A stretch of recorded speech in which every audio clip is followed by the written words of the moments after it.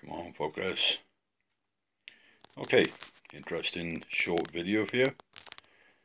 This little thing is a Reace RS107 and it was picked up for free.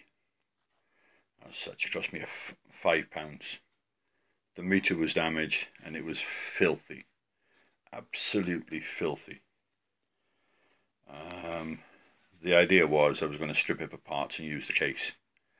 On further inspection, I had a meter that almost fitted.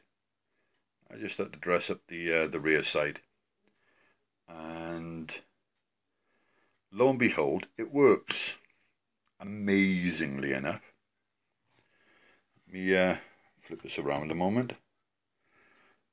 It's uh, pretty standard layout. Let me put a little bit more light in there. Let me get a torch. It's uh, pretty standard. It has been played with slightly, but uh,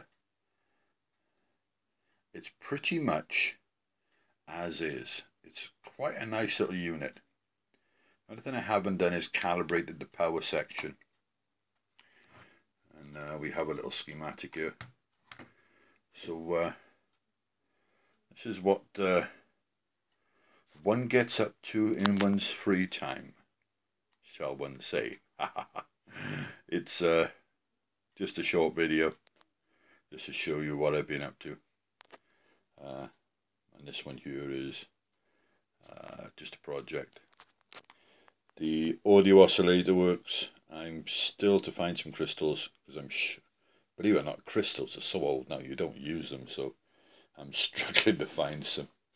I've got some of my radio ham friends trying to find some for me. So there you go. Have a nice evening. Just a quick one. And I'll update you when I've finished. Bye.